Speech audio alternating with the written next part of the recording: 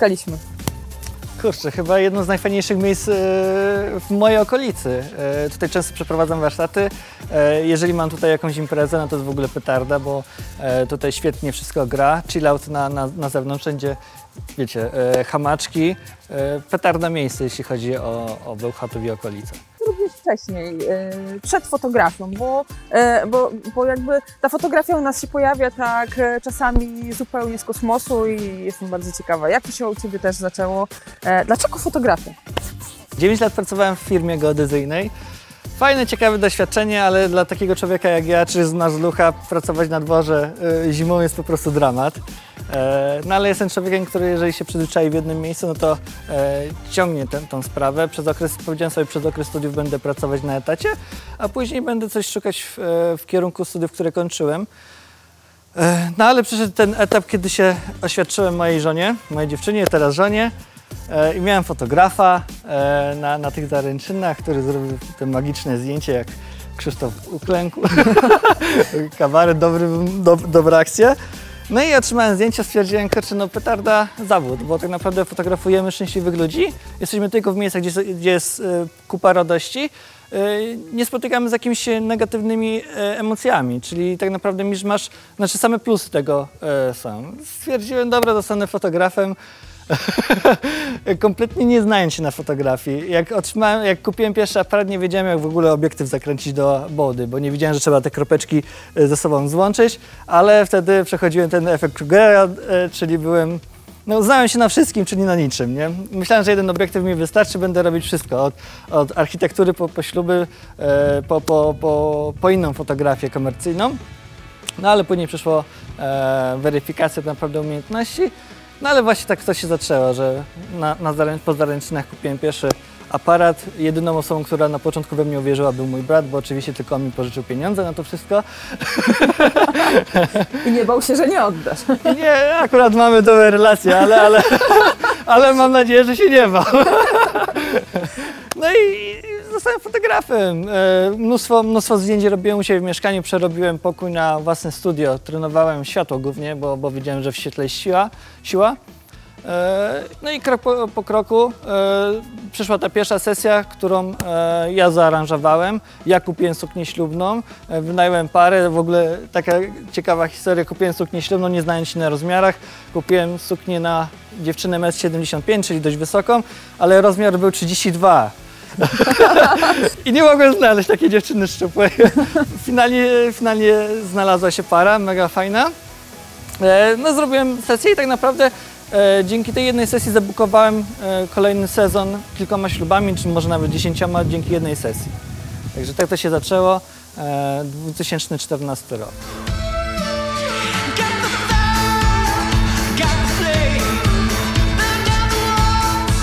I tak startowałeś z takim optymistycznym podejściem, że zawsze będziesz e, e, fotografował to, co fajne, dobre. Miałeś jakieś przygody, kiedy rzeczywiście to się rozminęło z Twoimi e, oczekiwaniami, jeśli chodzi o te emocje, jakieś takie Negatywne? wpadki? E, negatywnych emocji nie. E, e, ja, ja chyba, nie wiem, jak byłem dzieciakiem, musiałem się do, dużo zioła najeść. Sorry. Ja, ja jestem mega pozytywnym gościem. Ja, ja wierzę, że ludzie się e, tylko i wyłącznie z miłości, że chcą spędzić ze sobą całe, całe życie. E, I to jest fajne w tym wszystkim. E, I mam nadzieję, że, że to się nie zmieni i tak naprawdę nigdy nie podchodziłem do, jakiegoś, do jakiejś pary, do jakiejś realizacji, że, że oni hajtają się, bo muszą, bo, bo mają jakieś zobowiązania, bo nie są szczęśliwi, a, się, a muszą się pohajtać. No, dla mnie to by było cholernie słabe, dlatego cały czas pozytywnie myślę na temat każdej jednej pary. I tutaj z drona pykałem e, i spadł. no obok hamaku ludzi, nie? Jaka była najśmieszniejsza sytuacja, która najbardziej się rozbawiła w, na plenerze, na ślubie, e, którą tak rzeczywiście zapamiętałeś? Obiecałem sobie, że tego nie powiem, ale to jest taka gruba akcja. e, miałem sesję w zamku krowiarki. Każdy zna krowiarki. E, i, I z parą umówiłem się na miejscu, czyli ja jechałem swoim samochodem, para z okolic, e, z tamtych okolic, miała tam, mieliśmy się spotkać na miejscu. To 200 km, czy może nawet niecałe, jestem e, kilka kilometrów od celu. I mówię, kurczę, tam chyba nie ma toalety. trzeba, trzeba załatwić potrzebę. No to wyskoczę szybko do lasu i, i, i dojadę. E, moją myślą technologiczną, czyli Francuzem, czyli laguną podjechałem do lasu. E, zahamowałem, karta w, e, w samochodzie, wszystko w samochodzie, a tam się automatycznie ręczny zaciąga. Mówię, no to chyba się zaciągnął, nie? Wychodzę e, z samochodu, wciskam się w krzaki i słyszę, że coś jedzie. Mówię, kurczę, pewnie leśnik, nie? Ja się odwracam, a tu moja laguna popierdziela. Mówię, ja pierniczę, wszystko z podajki, wiecie, tak samochód zatrzymuje, no ale gdzie człowiek półtora tony jedzie, a ja... Zatrzymał się samochód na drzewie. Mówię, dobra, dobrze, że gdzieś głębiej, że nic się nie stało, tak mi się wydaje, bo oparł się o krzak. Pociągam klamkę, patrzę zamknięte, a samochód na chodzie, nie? Telefon, wszystko w samochodzie, aparaty, ja nie miałem do kogo zadzwonić, byłem w, w, w lesie, nie? No to e, podszedłem, tam byli leśnicy, e, powiedziałem jaka sytuacja, wyśmieli mnie troszeczkę, e, ale powiedziałem, że muszę się zalogować na Facebooka i ktoś zadzwoni do nich, e, no ta para. Całe szczęście byli na Messengerze i szybki telefon, przyjechali, pośmialiśmy się, zadzwoniliśmy do e, legalnego włamywacza. Przyjechał, załatwił sprawę w kilka minut, no i, i ruszyliśmy dalej, no ale sytuacja e, chyba do końca życia ją zapamiętam, bo, bo było dość, dość, dość grubo.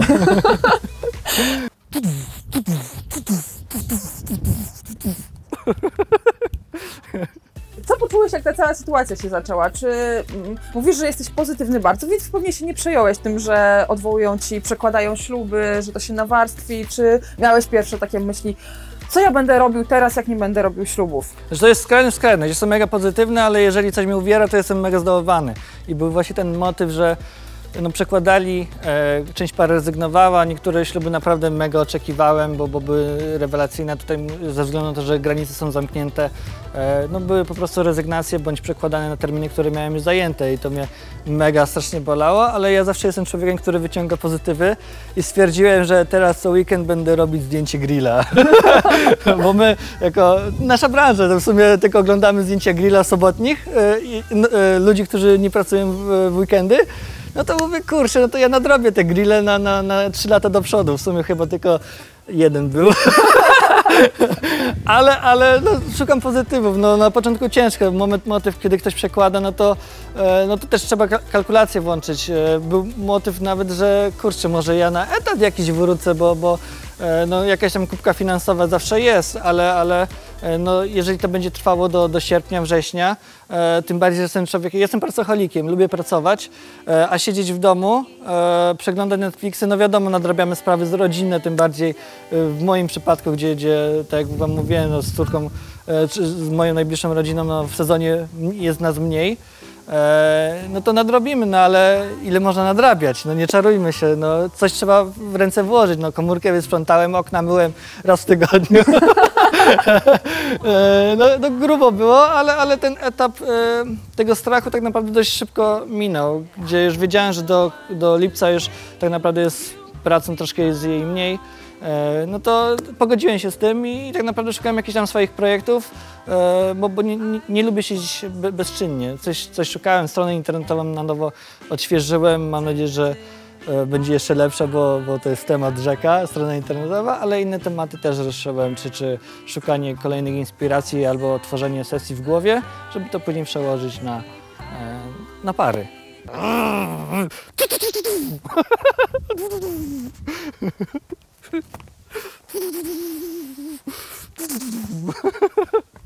A jak tak się nudziłeś, to co w takim razie oglądałeś na Netflixie? Co możesz nam polecić, oprócz gry o tron?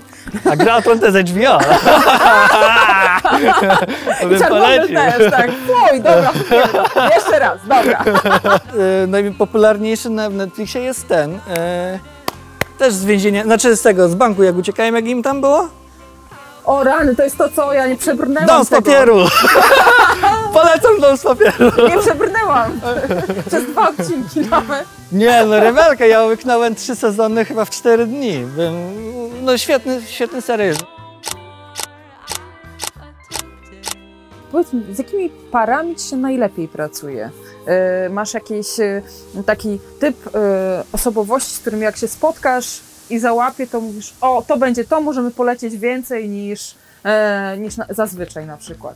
Wiesz, z parami ja lubię taki, wiesz, masz wszystkiego. Znaczy, wiesz, skrajny, skrajny. Dla mnie najlepiej do samej celebracji to, żeby byli wiecznie upłakani, wiecznie przytuleni, taka, wiesz, mocna chemia i żeby się dąsali na, na kazaniu, żeby nie mogli po prostu przestać płakać. Ale na dancefloorze, żeby byli, wiesz, tygrysami danceflooru, nie? Kurczę, żeby rzucali się, wiesz, żeby pogo im nie było obce, żeby taka skrajność, skrajność, to jest wymarzony klient. E, czasem tak jest, czasem nie. E, w każdej parze trzeba szukać jakichś takich e, pozytywów, bo tak naprawdę przy podpisywaniu umowy czy spotkaniu pierwszym, drugim, no nie wiemy tak naprawdę z kim mamy tak mocno do czynienia, nie? Dopiero to wszystko uzewnętrznia się w trakcie reportażu. I, wiemy, czy będzie grubo, czy będzie raczej tak statycznie, czy po prostu puszczą hamulce i w ogóle już będzie styl brazylijski, czyli najgrubiej jak można.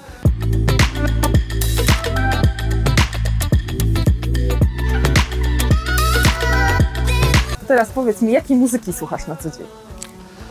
Jak Ja cię nikt nie słyszy. E, wiesz, e, to zależy chyba od, od, od, e, od momentu, e, w jakim jestem. W tym momencie, wiesz, Linkin Park, Limp Bizkit jest, nie? Potrzebuję, wiesz, e, tych wesel, tych, tych, tych, tych emocji. Dlatego mnie teraz Linkin Park, Limp Bizkit, e, Guns N' Roses, tylko bardziej już tak e, romantycznie.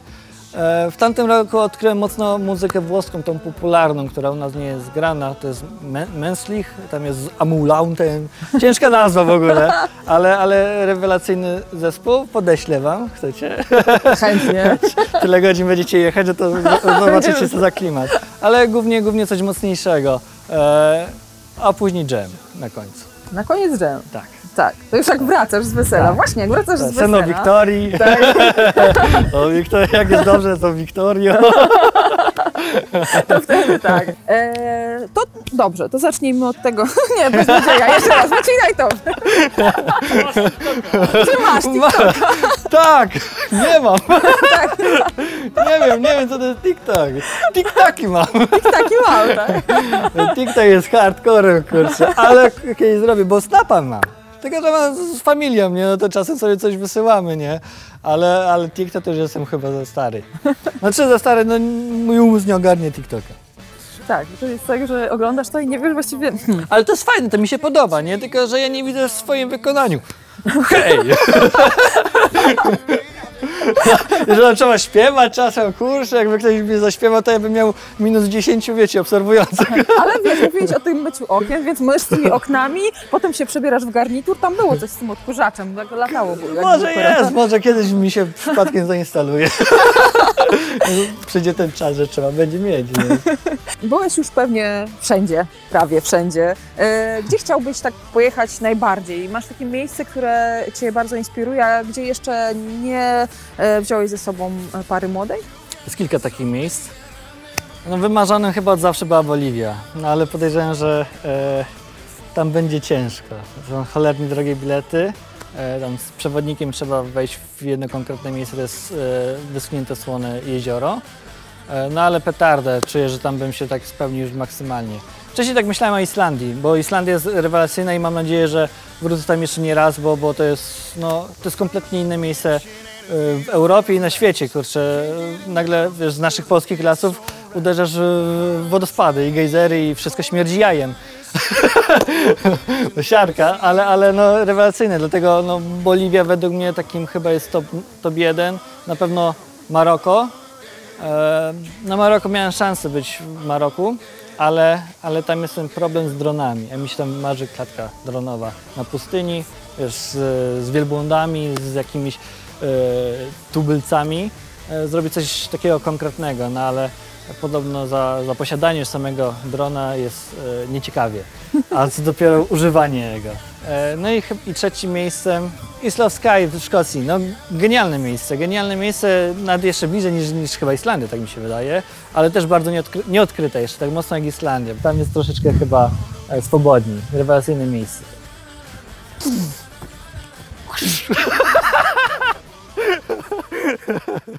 A w Polsce masz jakieś swoje ulubione miejsce, takie, do którego zawsze wracasz, które ci się wiesz, że nigdy nie obcyka, gdzie wiesz, że to będzie zawsze, znajdziesz jakiś sw- swój kawałek jeszcze nowy do, do tego zrobienia sesji.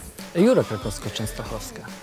Zamek Olsztyn, może nie sam Zamek Olsztyn, ale za Zamkiem Olsztyn jest Mały Giewont, e, Górka Biakło, Hekło, rewelacyjne miejsca.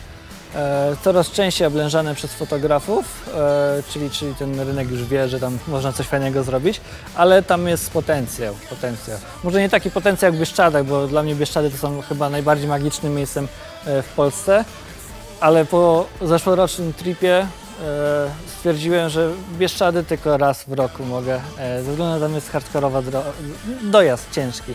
Ode mnie jest to ponad 6 godzin ciągłej jazdy.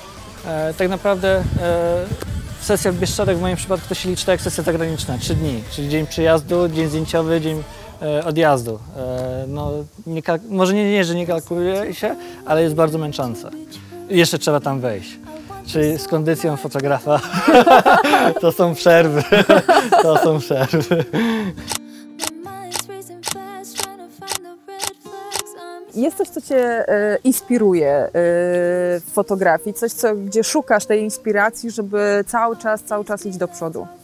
Myślę, że ten temat inspiracji już jakiś czas za mną jest. E, Już bardziej może nie szukam inspiracji, ale bardziej motywacji. Jak jest motywacja, to jest inspiracja. W ten sposób. Inspiracji już od jakiegoś czasu, no nie ma takiego terminu dla mnie. No wiadomo, są fotografie, których się obserwuje, których się podgląda, z których się coś bierze ciekawego, czy, czy w ogóle z warunków naturalnych i tak dalej, można czegoś szukać, ale jednak e, motywacja zdecydowanie w tym momencie. Co Cię motywuje? Rodzina. Rodzina. Rodzina. Robi się w sumie wszystko dla niej.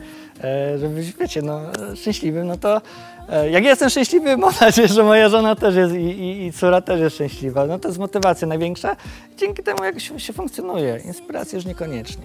A co jest najważniejszego dla Ciebie w fotografii? Są dwa aspekty, kurczę. E, dwie rzeczy, dwie rzeczy mega ważne. E, moment, no to chyba każdy, każdy w branży powie, że moment i światło. I wbrew pozorom, gdyby nie światło, to nie mamy momentu. Technicznie mówiąc, bez światła się nie zarejestruje obrazy, czyli światło jest teoretycznie wyżej. ale ale w, e, tak, e, tak ogólnie e, na pewno moment, a drugie światełko. Jak mamy genialny moment, wiecie, wieloplany, czy, czy w ogóle nawet gest przeżyczenia, który często my omijamy, e, dziadek przytulający e, swo, swojego wnuka czy wnuczkę, no petarda emocjonalna i to jest ten moment, który kurczę zawsze, zawsze szukam e, banalnych rzeczach, w tych najfajniejszych momentów. Bo, bo na dancefloorze czy, czy w trakcie przygotowań, no to tak naprawdę chyba zależy od naszego skilla i, i tego, co widzimy. Gdzieś dalej, gdzieś bliżej, czy szerzej. Jak myślisz o sobie jako o fotografię za 10-20 lat, to, to gdzie siebie widzisz? W jakim momencie, w jakim jak, jaki cel? O kurczę, cholernie ciężkie pytanie. Tego nie było. Gdzie siebie widzę za 10 lat? 1-0. E, kurczę, no bardzo ciężkie pytanie. Rynek się strasznie dynamicznie zmienia. E, jak ja wchodziłem e, w branżę, czyli te 5-6 lat temu, e, jeśli chodzi o, o samą obróbkę, to było wszystko pastelowe, wszystko ładne, e, do, do bólu gładka skóra i tak dalej. No teraz mamy look filmowy, czyli, czyli, te, e, czyli, czyli do, dość mocno stonowane.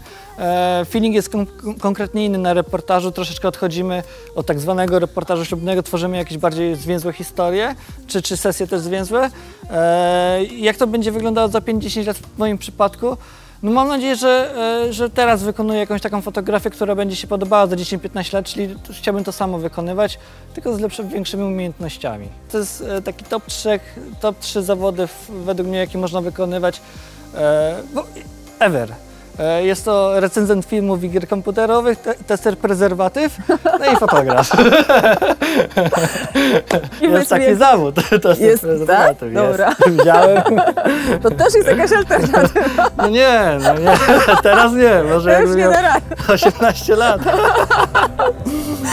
A powiedz mi, budzisz się rano i, i od razu myślisz o zdjęciach, o pracy? Czy, bo mówisz, że jesteś pracocholikiem, czy bardziej myślisz sobie, jeszcze jedna kawa? Nie, e, wieczorem zawsze jest research, co powinienem zrobić. Rano wstaję sztywne, sztywne ramy. E, Wiem, że muszę obrobić ten materiał, obrabiam, wiem, że muszę wysłać to, wiem, że muszę zrobić tamto i staram się e, nie zostawiać czegoś na później, bo, bo, bo nie wrócę. Zawsze jest tak sztywno. Akurat pod tym kątem wydaje mi się, że że dobrze to robię. dobrze to robię, matko. To tak zabrzmiało. Dobra, to teraz tak, kotlet czy, czy spaghetti? Ja kawę, bo wiecie, ja zjadłem obiad przed wami. E, Zatrzymam piosenkę i powiem cześć, jestem Krzysztof Krawczyk, a wy e, what the fuck.